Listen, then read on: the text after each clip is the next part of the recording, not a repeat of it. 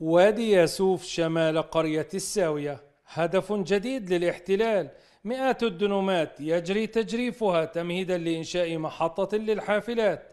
هذا التوسع لم يكن جديدا على أراضي القرية وقرية ياسوف المجاورة لها. بقوموا حاليا هم بتجريف الأراضي على حساب آه، شعبنا على حساب أبناء قريتنا المزارعين.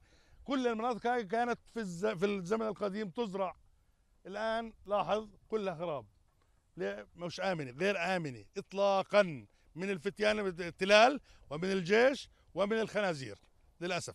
هم امبارح اجوا من 20 سنة أصبح قتل المستوطن اللي كان كانت بيت بيتين أصبحت أكبر من حجم قريتنا.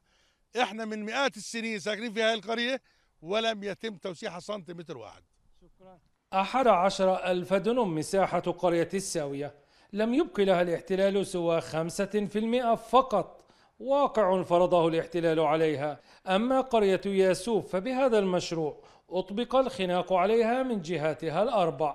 مشروع الحافلات التي تنوي سلطات الاحتلال آه، عمله في منطقة شمال رام الله قرب قرية الساوية وشرق محافظة سلفيت وجنوب محافظة نابلس يعمل على تقسيم هذه المحافظات الثلاث وتحويلها لكانتونات ويصادر أراضي قرية يسوب بشكل كبير التي أصبحت محاطة بالكامل بكتل استيطانية ومستوطنات وبهذه المشاريع الاستيطانية الضخمة.